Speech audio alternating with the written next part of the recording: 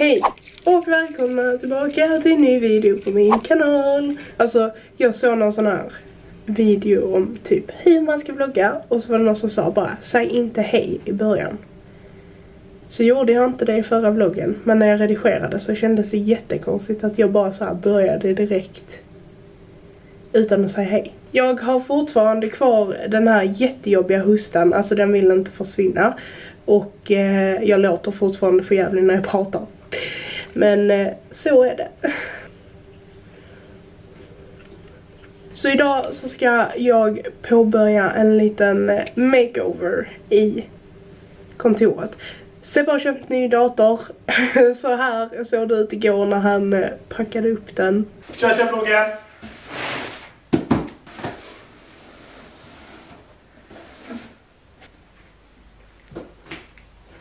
Det här vet jag inte så Inte heller.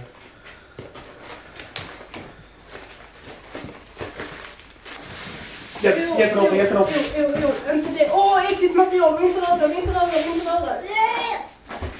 Och ljudet! Mm. Oj jävlar vad stort det är! Den är jättestor ju. Ja. Den är mycket större än andra. Ja, den är Men stor. jag tror jag hade något sånt här, inte ett ATX, utan jag hade det är en ATX tror jag jag hade i mitt förra.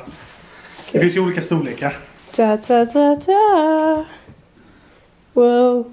Siri tycker den är fin. Och eftersom att han har den här nya datorn nu så ska jag få hans gamla så att jag också kan spela. Då behöver vi ett till skrivbord som datorn kan stå på. Så det ska vi fixa. Sen så har jag tänkt att jag ska köpa mitt eh, skrivbord som jag har till min andra dator. Ehm, så att jag kan fixa det också. Jag väntar på ett samtal. För att göra en lång historia kort så har jag en tid till psykiatrin på torsdag. Idag är det tisdag. Och den läkartiden är för att jag ska börja på medicinering av eh, ADHD-medicin. Och eh, den här eh, tiden är liksom inte så här, det är ingenting som jag har fått nu, alltså jag har väntat på det här i typ två månader nu. Och inför detta skulle jag även ta blodprov och det har jag gjort, det gjorde jag för mer än fyra veckor sedan. Och liksom så här, de har fått in provsvaren och ingenting konstigt och Uh, typ två dagar efter jag var där och tog uh, blodprov så kunde jag se provsvaren på min 1177 så det liksom så här, de har ju fått resultaten. Men igår fick jag hem ett brev där det stod att de hade glömt att ta vissa prover och att jag behövde boka en ny tid för att ta fler blodprover och då först blev jag liksom så här bara ah, men alltså för helvete hur, hur glömmer man ta prover när man seriöst får ett helt papper på vad man ska ta för prover. Och jag frågade ändå speciellt när jag var där bara eh, är det någonting mer jag ska göra, är detta allt, bla bla bla. Och ändå lyckades de fucka upp. Sen när jag började tänka lite mer så började jag ju tänka att jag tar de här blodproverna för att de måste tas innan jag börjar på medicinering. Och då antar jag ju att om man inte har tagit alla blodprov så får man inte börja på medicineringen för annars varför skulle jag ta blodprov? Och då ringer jag till psykiatrin i år och frågar om mitt Eh, om det ens går att ha mitt läkar, min läkartid på torsdag. För att eftersom de har varit så himla sega på psykiatrin och inte kollat så har de ju skickat att jag inte hade fått tagit alla prover eh, förra veckan. Och så har de ju skickat ett fysiskt brev och det tar ju 200 år innan man får hem det så jag fick ju inte det förrän igår och jag hinner inte ta nya blodprov och de får resultaten till på torsdag som ni säkert förstår för liksom idag är det tisdag. Och jag var i kontakt med min vårdcentral också där jag behöver boka tid för att ta blodprov och tidigaste tiden de hade var på torsdag när jag har det här, den här läkartiden. Eh, så då vill jag ju fråga, eller jag frågade kommer jag ens kunna, alltså blir det någonting på torsdag? Och anledningen till att jag gör det här Ehm, det är för att jag vet hur det fungerar för att när jag kom dit där på utredning då fick jag veta när jag kom dit där att oj någon var sjuk och vi kommer inte riktigt kunna genomföra detta som, som tänkt. Så vi får köra ett samtal till. Istället för att säga till mig det i förväg så fick jag veta det när jag stod i dörren liksom. Så jag vet om att de har noll koll på det jävla stället. och, eh, alltså det är så flummigt och ja, alltså jag vet inte. Eh, det är ju liksom bara så här, de har ingen koll. Eh, så jag vet ju att jag själv behöver ringa dit och kolla för att de kommer själv inte kunna se den här kopplingen med att oh shit vi har inte fått det här, då kanske inte det här mötet funkar utan då kommer jag komma dit och så kommer de bara ojsan, eh, vi kan inte göra någonting.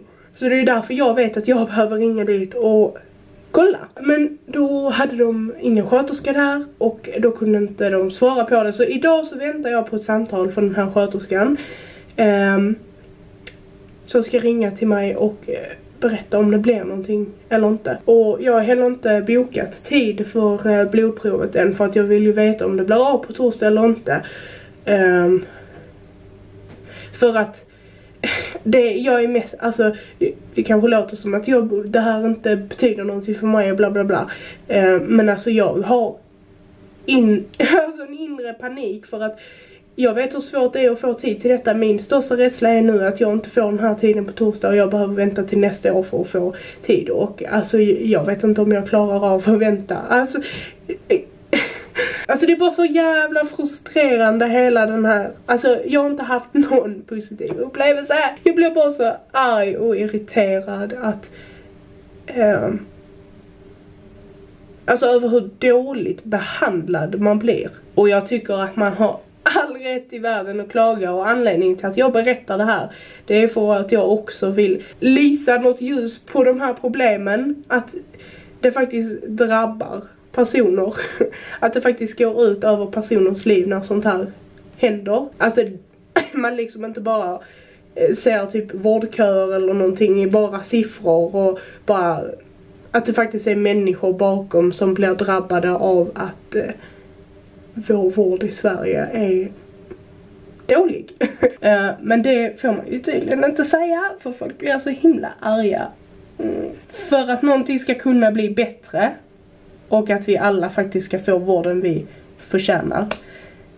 Så behöver man ju faktiskt säga till om när det går till på fel sätt. För att så här ska det inte gå till. Det är inte, det är inte okej. Okay. Och jag hade inte varit arg heller om de hade ringt mig för fyra veckor sedan och sagt att eh, um, det blir fel, du behöver göra om det för då hade jag hunnit ta nya eh, blodprov innan min tid. Ni förstår, alltså om man hade haft lite framförhållning för liksom visst alla kan göra fel men då får man också säga till om att felet har blivit gjort så att jag då i fråga har tid till att kunna gå till dem igen som har gjort fel så de kanske kan göra rätt den gången.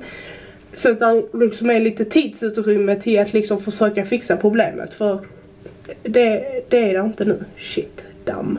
Men skit i det, det är inte det denna videon ska handla om. Vi ska vi ska ha kul och inreda kontoret. Men jag kände att jag bara ville säga någonting för att det här går och gnager i mig och eh, jag mår skit över detta. Så ifall jag är deppig, det är jag alltid, deppigare än vanligt så är det på grund av det här. Yay!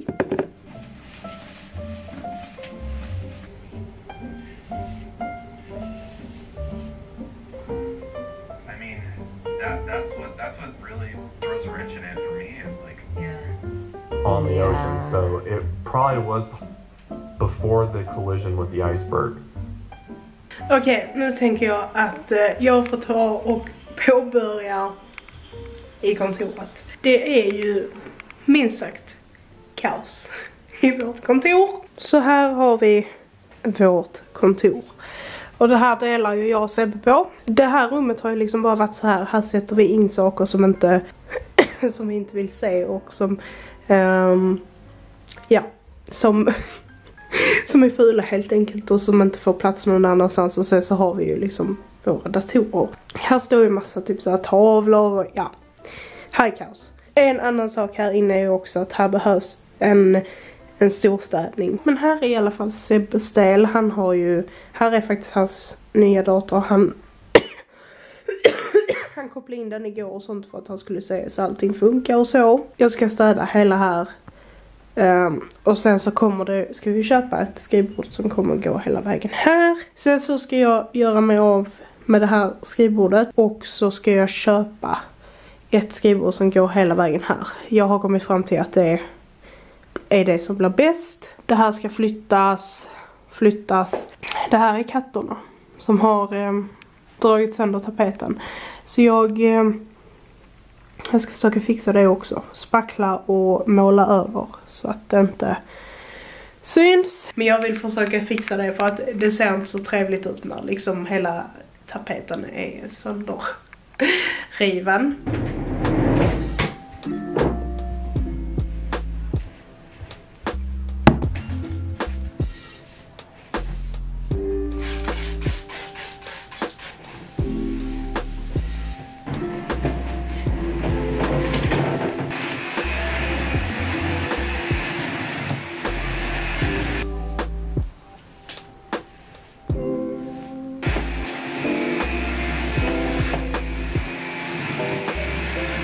Alltså det är ganska svårt att städa här inne för rummet blir ganska mycket mindre än vad det egentligen är när det är så mycket möbler här. Så jag kan inte riktigt flytta runt sakerna och sånt. Men jag har eh, städat i en hörna i alla fall och på bordet. Så det här, här är städat och klart. Hela bordet är avtorkat. Sen så har jag också så här tagit bort sladdar och sladdar som hör ihop med varandra har jag satt så här tejp på. Um, jag gjorde samma sak här. Bara för att när det är så här mycket sladdar det är så jävla svårt att hålla koll på vad som är vad. Och sen så får jag ta denna sidan sen när jag har flyttat denna hit här. Men tanken är att här på denna väggen ska vi sätta upp den där hyllan. För att kunna sätta upp den hyllan så behöver jag borra i väggen, eh, sätta plugg och sånt där. Och eh, jag, jag kan inte göra det själv nu för att Ehm, um, Sebbe behöver hålla upp hyllan så jag kan markera ut var jag ska skruva och sånt där. Eller borra. Uh, det är lite svårt att göra det själv för att den där väger ganska mycket. Så jag får vänta tills Sebbe kommer hem till att göra det. Och för att kunna göra det så kan det liksom heller inte stå något skrivbord i vägen och sånt här. För då kommer inte jag åt och göra det jag ska. Så att det behöver jag göra först. Plus att det kommer ju falla ner lite uh, partiklar från väggen när jag borrar. Eh, så jag behöver ändå dammsuga upp det. Så jag låter det vara så här nu. Så får jag fixa med det sen. Sebbe kommer hem lite senare idag för att han är på en uh, uh, arbetsresa. Men en sak som jag tänkte att jag skulle göra det är att rengöra Sebbes tangentbord för att han har köpt ett nytt. Det var faktiskt jag som hittade hans tangentbord. För att jag tyckte det var så jävla snyggt. Jag hade velat ha ett sånt tangentbord. Sebbe liksom bara, ah, jag hittar inget jag vill ha och han ville ha ett vitt tangentbord som är lös med rosa färg. Och eh, det tangentbordet då som jag tycker är fint, det är vitt men det lyser i olika färger. Typ lite lila, rosa och typ lite blått tror jag det var. Men han tyckte det var snyggt så det har han beställt till sig själv. Uh, han ville beställa ett till mig också men jag bara, jag kan ta ditt gamla, det är onödigt att köpa ett nytt om den ena liksom fortfarande fungerar. Det enda är att det är så jävla äckligt, alltså han har haft det här tangentbordet i tre år tror jag. Han har inte städat en endaste gång så alltså det är så äckligt. Så det behövs verkligen städas av. Uh, det ligger här. Jag tror att ni kan se, kolla ser ni allt katthår som ligger emellan.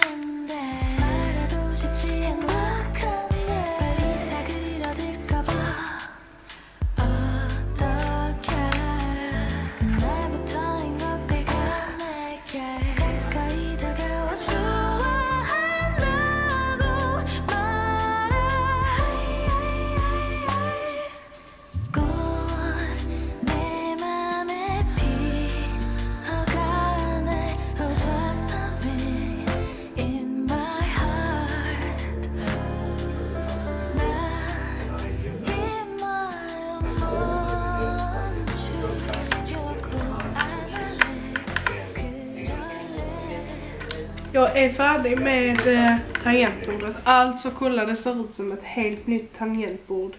Tan tangent tangentbord. Alltså jag, jag har jättesvårt att prata sen min eh, röst blir helt förstörd.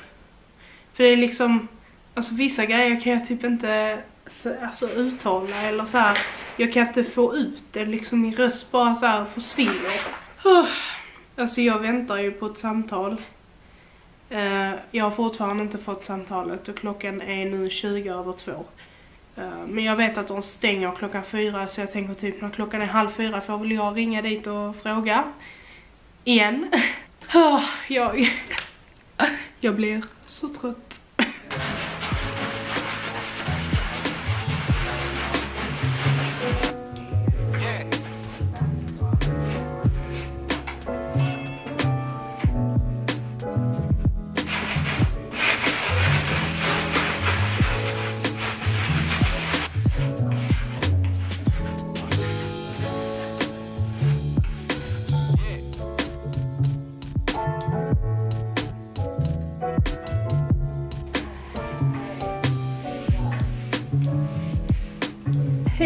Hej, med Tova.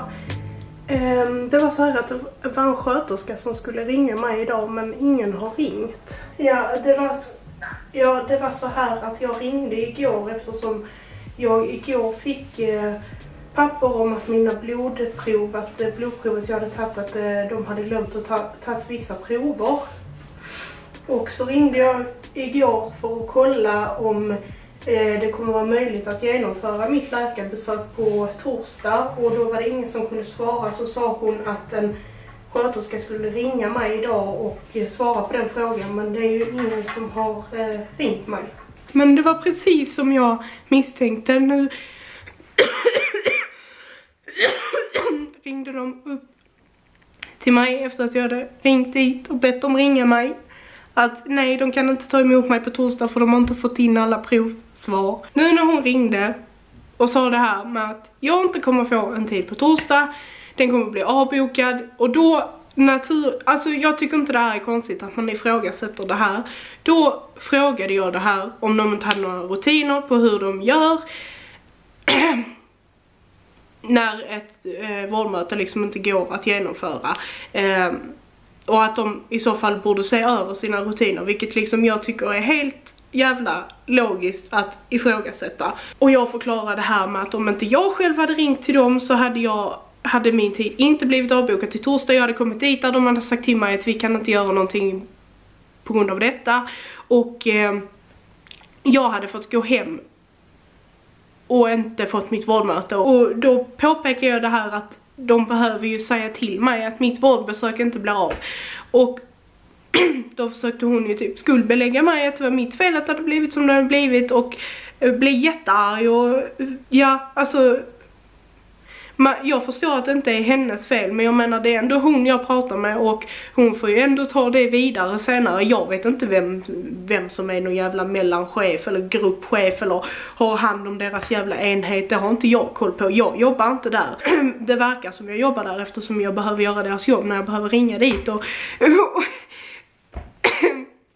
fråga och se om kan jag verkligen komma till er? Har ni inte tänkt på det här? För det tänkte jag på direkt. Jag tycker inte det är orimligt att vilja ta upp det. För liksom, det handlar inte bara om att jag tycker att det är, eh, är dåligt gjort mot mig. Men alla andra det också händer och det är helt, alltså man behöver ju avboka ett möte om det inte blir av. Jag kan inte veta det som patient. Det är bara så jävla dålig framförhållning och det var det jag ville framföra och det jag sa till henne att det kanske är någonting ni behöver se över, att ni håller någon form av kontakt liksom med patienter så att man har reda på detta för det är helt orimligt att det är mitt jobb att ringa till dem och fråga om det verkligen går att genomföra min läkartid för det ska väl de för fan ha koll på själva. Jag mår skit, jag kommer må skit resten av vloggen men nu vet ni varför. Ni vet vad som har hänt, ni vet varför jag är ledsen varför jag har panik. Um, men ja, dagen får fortgå ändå och jag ska snart köra till Ikea. Ska vi handla det vi behöver. Jag, jag glömde bort vad du sa. Hur, hur skulle vi... Hur, hur skulle vi göra? Skulle jag komma ut till Väla och så skulle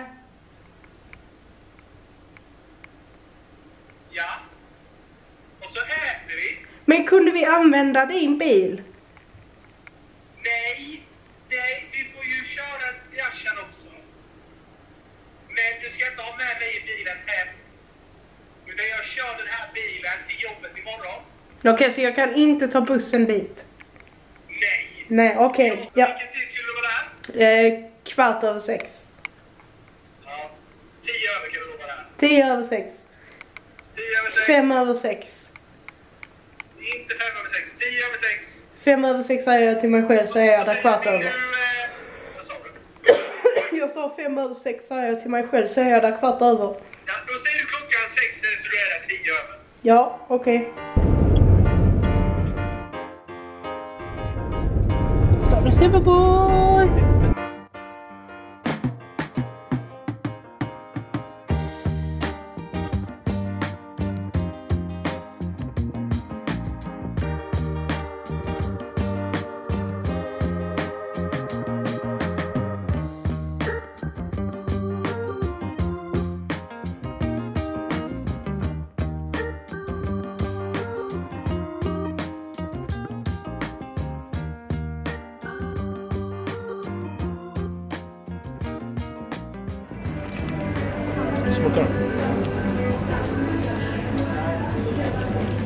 Ser ut som senap. Den är god. Smakar inte senap. Ja.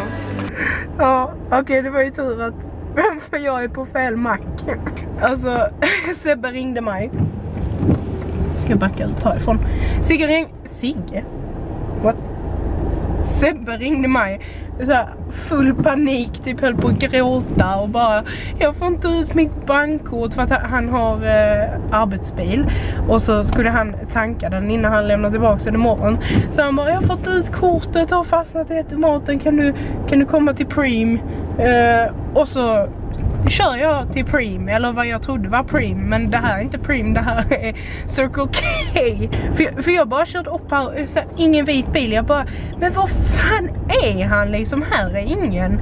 Och så ringer jag till honom och bara, men alltså vilken jävla mack är du på? För du är inte här.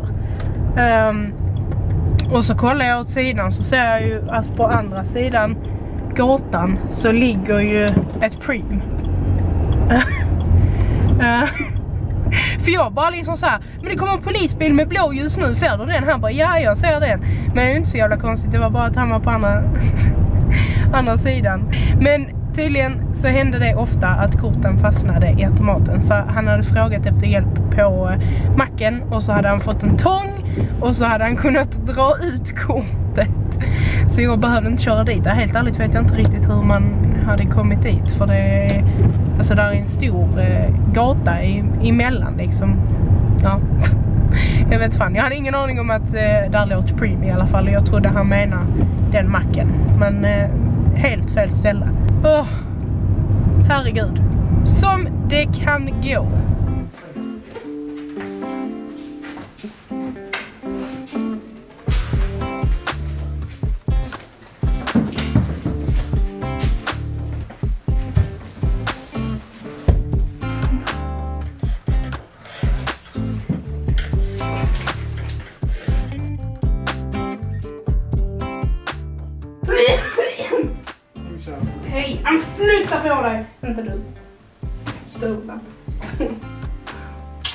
Det här kommer bli jättebra ju. Jag hoppas det. Ja. Så kan du ha din sån gubbe och massa skit av. Ja.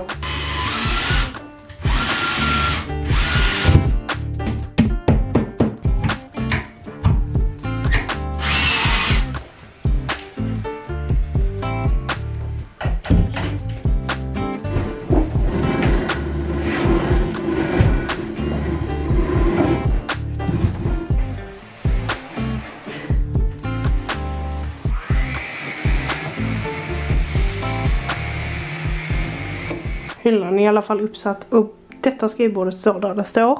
Alltså den typ såhär lutar lite. Men eh, skitsamma. Men eh, det är då här vi ska ha ett skrivbord till. Så jag ska ta och eh, bygga ihop det nu. Det är inte så jättemycket byggande. Det är ju bara benen som ska sättas på på bordsskivan.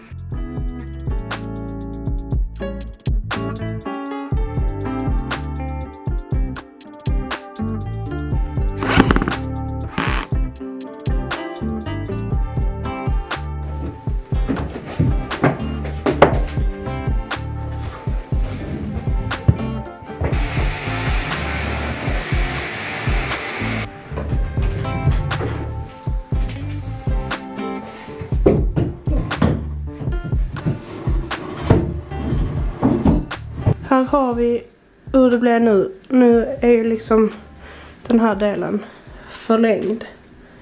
Med ett bord till så ska vi ha min dator där så jag kan sitta där. Eftersom det är så himla trångt här inne, här är noll utrymme, så även fast jag sätter ihop det andra bordet så kan jag ändå inte få in det här. Jag måste först eh, fixa färdigt på denna sidan, sätta upp datorn och allting sånt här. Um, alla saker som står på golvet och sen så behöver jag flytta garderob och allting sånt ditåt. Ta ut det andra skrivbordet för att kunna få plats med det nya. Så um, det tänker jag att jag gör imorgon istället.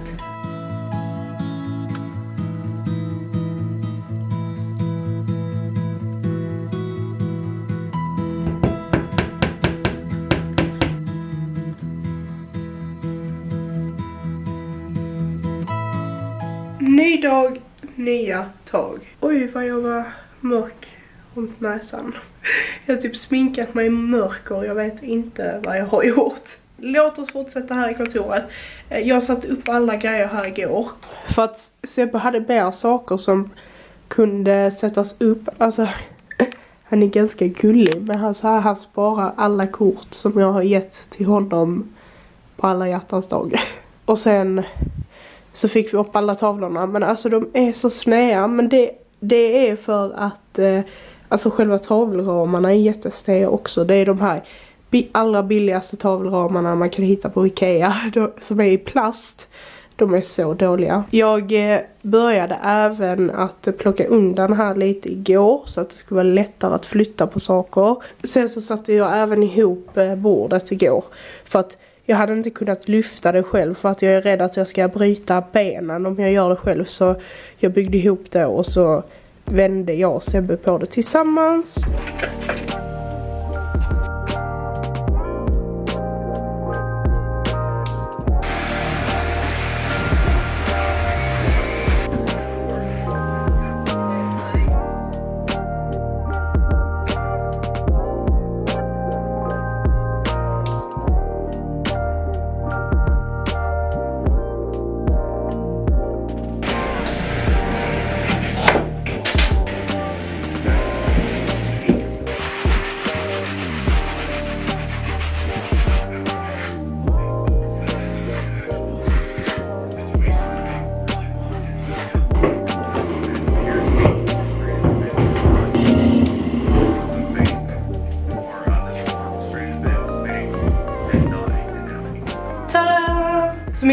Med skrivbordet och det jag egentligen ville ha från början det är att jag vill ha alltså hortsar på sidan, sådana här Alex hortsar istället för ben på båda sidorna och så är det bara ett ben i mitten. Alltså Alex hortsar, de är dyra. De kostar nästan 1000 kronor styck. Jag har inte råd med det just nu.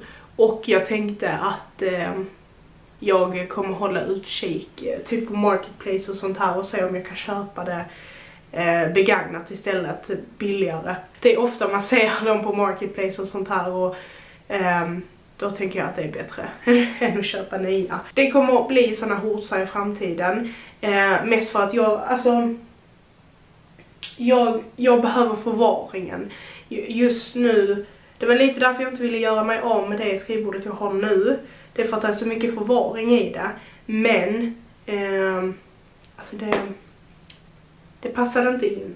Och då är det även mycket lättare att typ gömma sladdar och sånt här. För nu är det ju helt öppet här under så man kommer ju se varenda sladd som eh, finns. Och det tycker jag inte riktigt om. Om det är hotsar så kan man liksom trycka in sladdarna eh, bakom dem så syns de inte lika mycket. Sebbe har bjudit in mig på en fika. Han skrev, vill du komma ut till Väla efter jag slutat för att han slutade tidigare idag eftersom han jobbade över igår. Så skrev han, vill du komma ut och fika? Jag bara, okej, okay, jag kan komma. Vi kan fika.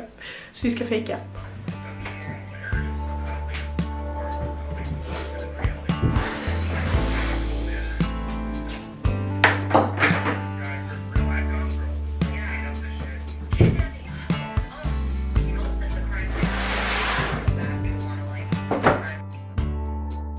Alltså jag... Eh, jag är jättesen.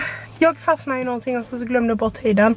Och sen så gick jag ner var på väg till bilen, sen kom jag på, jag har ju glömt att sätta i mina linser idag. Jag kan ju liksom inte köra bil utan linser, jag ser ingenting. Så jag fick springa upp igen, ta på mig mina linser, springa ner igen och nu är jag sen. Jag, åh, jag är så trött på mig själv, jag förstår inte hur Sebbe orkar leva med mig helt ärligt.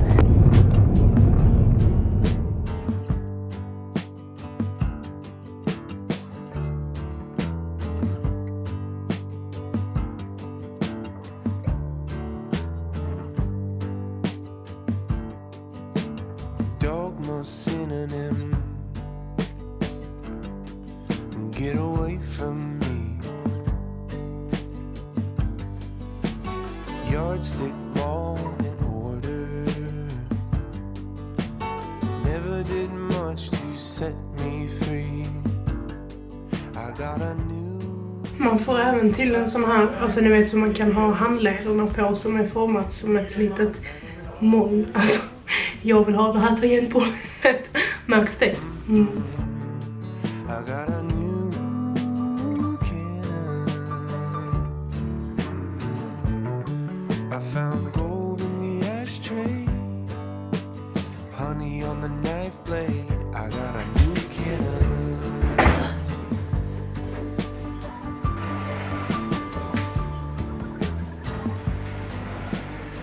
Ja. Nu har vi fixat en del här. Vi har eh, kopplat in datorn till mig. Jag har laddat ner Sims. Jag håller på att eh, ladda ner alla mods och sånt här som jag har. Custom content som jag har. Jag, alltså jag tänkte göra det jättelätt för mig själv. Och ta modsen jag hade på min dator. Lägga över dem på min hårddisk som jag har. Och sen koppla in det i datorn och sen bara lägga över direkt. Men det gick inte för att eh, eh, det här är ju en Windows-dator och den kan inte läsa min hårddisk. Och så blev det helt fel nu när jag skulle göra detta för typ allting bara la sig på OneDrive. Alltså jag hatar Windows-datorer. Men skitsamma, vi håller på att fixa det i alla fall. Men här är typ färdigt. Alltså, det här är ganska fult inne. Men här kommer vara fult.